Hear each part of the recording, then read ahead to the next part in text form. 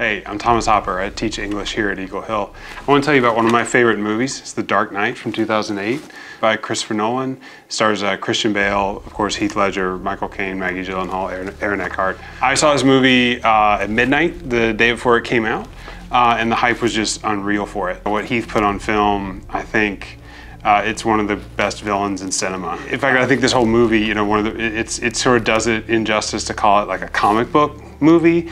I think it's about you know Batman, uh, Commissioner Gordon, the Joker, but it's it's a police procedural that just happens to have like Batman chasing the Joker all over all over the city. Um, I also love this movie for its use of like practical effects and CGI. So you know, there's this there's awesome chase scene happens in the middle of the film, and Joker's driving like an 18 wheeler, and it actually flips, and you know, they filmed it. Like that's a, that's a real 18 wheeler, really flipping. And of course, like the makeup effect. You know, I don't know if you noticed, but like Heath did his own makeup, and then he has this awesome gesture where he like licks his lip. That's because his mouth like prosthetics were coming unglued and he would sort of like play with them with his tongue. It was a sort of like gesture. That, that, that one trait, I think, again, back to, back to this idea of him being one of the best uh, cinematic villains, you know, that one trait is just like a practical thing that he was just responding to as an actor.